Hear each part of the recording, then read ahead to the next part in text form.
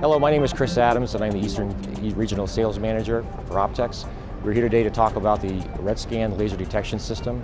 It's a unique uh, detector that actually has an infrared laser that operates within 100 feet of field of view. You can use it in a horizontal or vertical method to detect objects as it passes through its field of area, or again as it pierces through a particular area that you're trying to protect.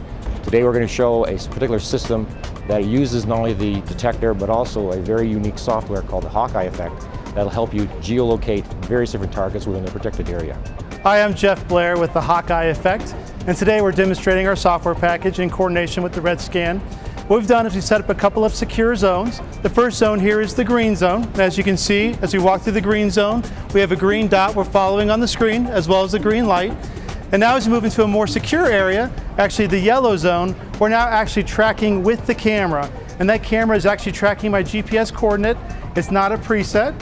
And as we move through the yellow zone, we'll approach a hot zone, which we call the red zone. In this situation, this may be a critical asset, it may be a secure access point, it could be a control board, and now we can use any sort of logical control. In this situation, we're actually sending off an email of a photo we just snapped uh, to the security department. I'm Patrick Hart, I'm a sales engineer for Optex, and I want to talk about a little bit of the applications for the Hawkeye effect and how it integrates with the laser detection. The idea of a laser detection gives you pinpoint accuracy and using that accuracy to be able to track objects is very valuable in the security industry. So not just having independent zones where you say I have a zone here, zone here, zone here, but able to track an asset from the XY coordinates to pinpoint locations gives you the ability to track friendly and foes. It gives you ability to um, um, uh, secure exact locations within a perimeter.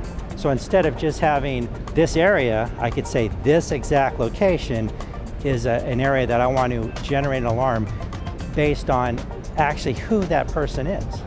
So it opens up a whole new field as opposed to what typically we're a zoned world. The added beauty of the RedScan and also the Hawkeye effect is the ability to connect to any other systems. So whether it's an access control system or a VMS system, the uh, architecture is wide open. So you're not limited to a one-to-one -one relationship, but a, a, a solution to any relationship. So again, thank you for your time for watching this quick video about the Optex RedScan and the Hawkeye Effect software. For more information, go to www.optex-vms.com.